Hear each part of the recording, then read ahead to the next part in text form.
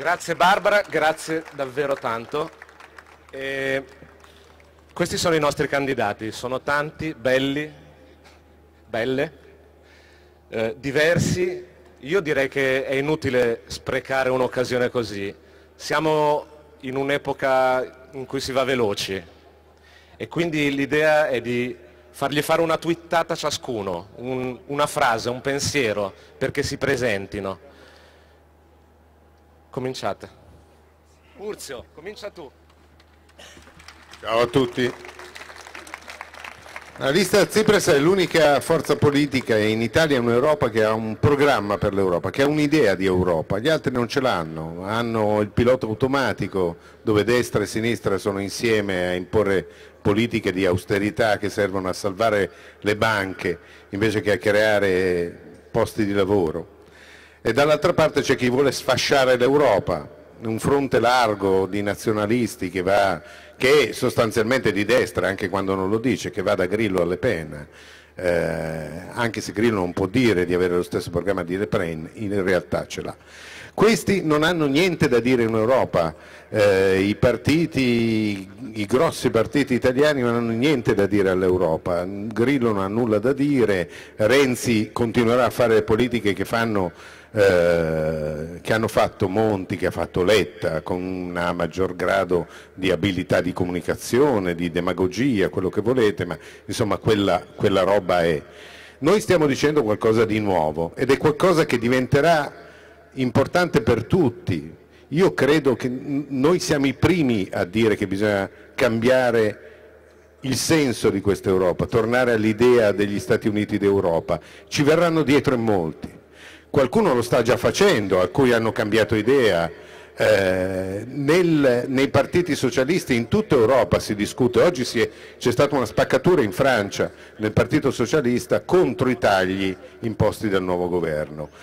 C'è una parte del PD che giustamente contesta delle politiche liberiste che si continuano a fare, c'è una grossa parte della socialdemocrazia tedesca che è contro l'alleanza con la Merkel. Bene, noi siamo avanti a questi. Io mi sono candidato anche perché penso che questa lista sia il futuro de, di tutta la sinistra, non solo di una parte della sinistra. E io sono sicuro che i nostri voti conteranno più in Europa degli altri e si potranno fare cose diverse, che il nostro 4, 5, 8%, non mettiamo limiti alla provvidenza, conterà molto di più dell'inutile 30 degli altri. Grazie. Grazie Curzio, abbiamo dei problemi con la modernità, un tweet di 140 caratteri, ma va bene così. Argiris. Eh, buonasera, sono molto contento, io mi chiamo Argiris Pandacopoulo, sono straniero, cioè, vengo da lì. Eh, sono molto contento perché finalmente siamo di fronte al nostro nemico, non siamo più a discutere nelle nostre sale, questa è la nuova sinistra, questa è la sinistra che è in Italia, riconosce il suo nemico e comincia a combatterlo, però per combatterlo dobbiamo fare due cose molto importanti, essere uniti. La nostra diversità è la nostra forza e questo abbiamo fatto in Italia questi due o tre mesi. E questo hanno paura quando lo vedono, non gli piace perché questo, quando la, la sinistra si unisce uno più uno non fa due. Noi faremo la sorpresa qua in Italia e magari continueremo anche dopo per mettergli più paura. La seconda cosa molto importante è la coerenza. Dobbiamo essere coerenti con le cose che diciamo oggi, che le diremo anche domani e saremo lì a lottare per le persone che ci voteranno e per questi che ci vorranno votare e lottare con noi, perché dobbiamo finire con questa ipocrisia. De, anche di, di, di, parti di sinistra che un giorno dicono una cosa e un'altra un cosa dicono un altro e poi quando vanno a governare fanno con, completamente il contrario. In Portogallo la sinistra già viaggia sul 20%, in Spagna supererà il 15%. Non dico per Alexis perché abbiamo tutti per scontato che vincerà le elezioni, però la grande sorpresa saremo noi qui. Questa è la nostra sfida e per questo dobbiamo continuare a questa lotta questo mese che ci resta. È una cosa molto difficile, però dobbiamo uscire, parlare con la gente eh, stare con la gente, stare lì dove ci sono i problemi. Non potremo vincere niente, non pot potremo guadagnare niente se aspettiamo dagli altri. Dobbiamo andare lì dove sono i problemi e dobbiamo convincere le persone che non vanno a votare per andare a votare. Chi non vota in realtà vota Merkel, vota Renzi, vota Juncker, vota Alfano e vota Berlusconi. Questo, questo lo dobbiamo spiegare. Nel canapè della, della televisione non si vince niente chi va a votare il populismo praticamente scava la sua fossa, perché questo vogliono fare. Qui, questi qua, una volta si diceva guerra di classe, questo vogliono fare, vogliono annientare la classe media, vogliono farci tutti i giorni più poveri e più deboli. Sentendo il populismo, tornando nello Stato nazionale, eh, senza una prospettiva torniamo molto indietro e non c'è nessuna speranza. Ha detto Barbara molto bene prima, noi siamo la sinistra e senza sinistra non può essere futuro. Noi siamo il futuro e dobbiamo andare anche ai giovani. Siamo qua una platea relativamente grande. La prossima volta dobbiamo ringiovanirla. Questa è un'altra grande sfida che dobbiamo prendere molto molto sul serio. Allora, concludendo, uniti e coerenti. Grazie.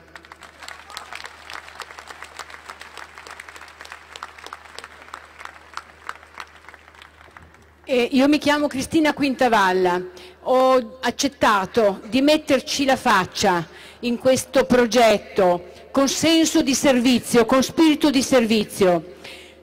La ragione è perché c'è una potenziale opportunità che si apre per il nostro Paese e l'opportunità è quella di raccogliere e riannodare i fili interrotti che gli uomini e le donne della sinistra di questo Paese hanno lasciato, l'eredità degli uomini e delle donne della sinistra che nelle lotte, nelle, loro, nelle piazze, nelle manifestazioni hanno dato con coraggio, sacrificio, con grande senso di oblatività. Io credo che dobbiamo raccogliere con senso di responsabilità tutto questo grande patrimonio affinché quanto la sinistra ha lasciato non rimangano gesti perduti, dobbiamo recuperarli e farli nostri. Ed è con orgoglio che credo che ognuno di noi rappresenti in questa situazione una possibilità di aprire uno spazio nella sinistra tra il qualunquismo di Grillo e il neoliberismo di Renzi che sta svendendo il paese a Confindustria. Gli uomini e le donne che oggi sono qui su questo palco hanno speso la loro vita non nelle poltrone, non nelle lobby, non alla ricerca di un potere personale, ma nelle lotte contro l'austerity, contro le opere inutili e dannose per il nostro paese. Cioè veniamo dal territorio da lotte in cui abbiamo dato il nostro contributo. Grazie.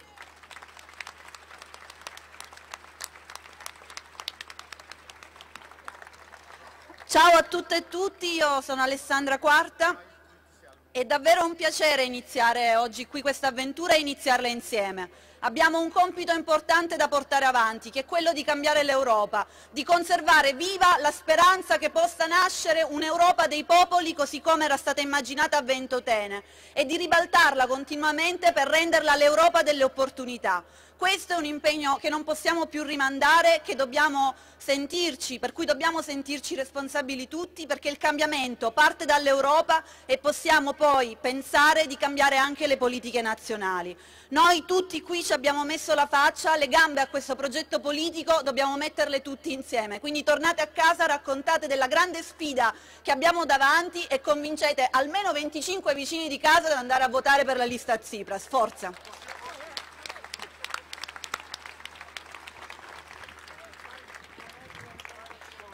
Buonasera, io sono Diana Pavlovic, appartengo a un popolo europeo, un popolo che non ha una terra, che non ha una nazione, siamo 12 milioni di persone in Europa, parliamo tutte le lingue europee, abbiamo tutte le religioni, abbiamo, le nostre comunità sono al 93% di disoccupazione, uh, viviamo, abbiamo la mortalità infantile molto molto alta, uh, siamo un popolo più discriminato d'Europa e dunque io da anni combatto per migliorare le condizioni di vita di mio popolo. invece mi sono accorta che invece di che, che migliorino le vite, le condizioni di vita del mio popolo migliorino, invece gli altri si stanno sempre di più avvicinando alle nostre condizioni di vita e dunque io non potrei essere in un altro luogo che qua stasera, perché in questo luogo io riconosco la volontà e la determinazione di riconquistare i nostri diritti, di tutti noi, e la nostra dignità. È per questo che sono qua, sono sul posto giusto. Grazie.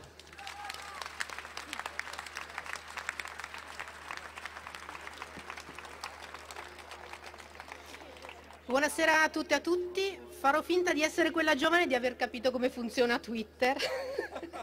eh, mi accodo mm, all'invito che ha fatto Maso per il 25 aprile. Il 25 aprile è la mia festa preferita. Spero di festeggiare assieme a voi il 25 maggio invece la festa della rivoluzione dei popoli europei.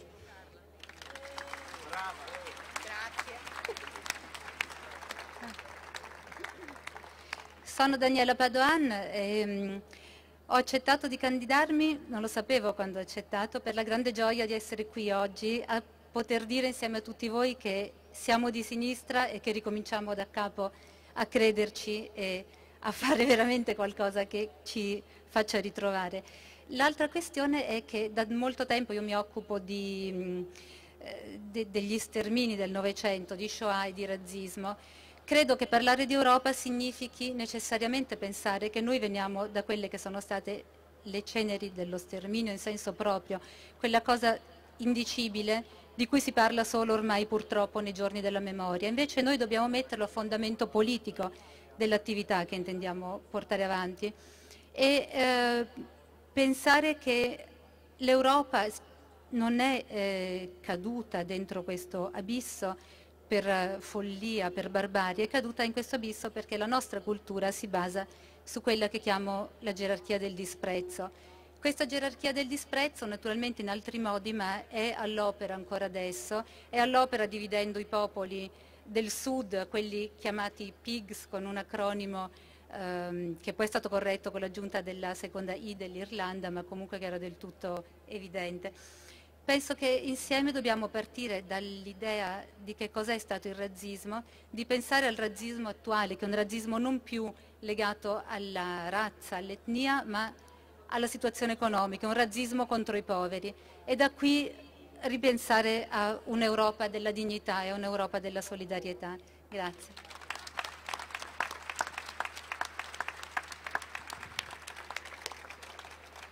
Sono Nicoletta Dosio e vi porto il saluto della Valle di Susa, che da 25 anni resiste e non si arrende, non solo contro il TAV, ma contro un modello di sviluppo che distrugge gli esseri umani e la natura, il denaro pubblico che viene sottratto a quelli che sono i veri diritti, i veri bisogni delle persone e viene messo nel pozzo senza fondo dei grandi interessi di un partito trasversale che esiste a tutti i livelli e che in Europa si chiama Troika, si chiama politica delle banche, si chiama quel mondo che fa dei poveri un tappetino su cui camminare, che fa dei diritti parola morta.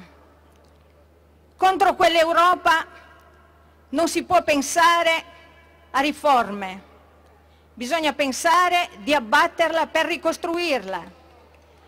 E sarà davvero l'Europa dei popoli, dei lavoratori che riusciranno ad abbattere le gabbie salariali e ad avere uguali dignità in un mondo che deve essere di liberi e di uguali, sarà l'Europa contro la guerra, Sarà l'Europa in cui sarà bello vivere e pensare ad un futuro nel quale si riuscirà davvero a vivere tutti liberi e felici.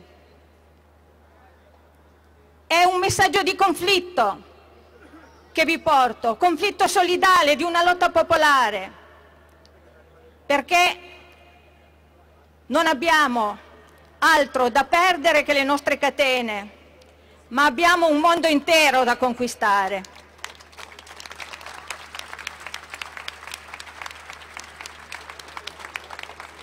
Rimango sul tweet, sono Alfredo Somoza, mi conoscete, sapete cosa faccio da 30 anni in questa città, in questa regione. Eh, il pensiero di, di, che ci è stato chiesto, il mio pensiero oggi è che vada, vada, a finire come vada a finire, io sono convinto che andrà a finire bene, che riusciremo nell'obiettivo che ci siamo dati, nessuno ci toglierà dalla memoria e dalle orecchie e dagli occhi il ricordo di questo pomeriggio di inizio primavera in questo luogo così simbolico per Milano e per l'Italia, quando abbiamo ribadito un principio che andrebbe scolpito sulla roccia del basamento di quel monumento, mai monumento così opportuno tra l'altro. E quel principio è l'inizio di una rivoluzione che vogliamo fare in democrazia e quel principio è prima le persone. Questo è il mio pensiero e vi ringrazio.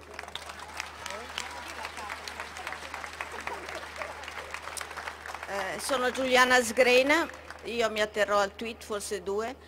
Eh, avremmo potuto essere molto di più questa sera qua, se qualcuno parlasse di noi, invece non c'è informazione in questo Paese.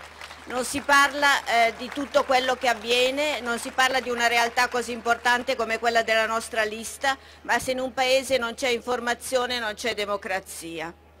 E volevo fare un secondo tweet che riguarda le persone che sbarcano in questi giorni nel sud Italia e eh, solo in questo caso l'Italia si ricorda dell'Europa, allora parla di responsabilità dell'Europa. È vero, il problema della migrazione dovrebbe essere un problema europeo, ma non per respingere i migranti, ma per costruire un'Europa, un Mediterraneo di pace, solidarietà e accoglienza. Grazie.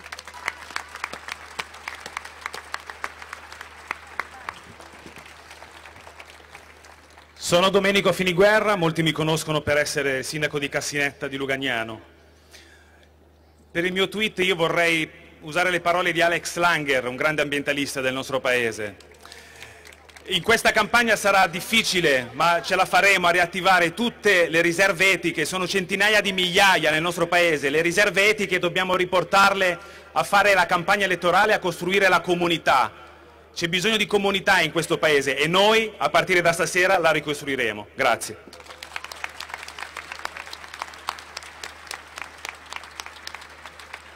Va bene, direi che ne voleva la pena di ascoltarli tutti, anche, anche, se non tutti hanno ben capito cos'è un tweet, ma va bene così, va bene così, perché abbiamo bisogno anche di parole e non solo di tweet.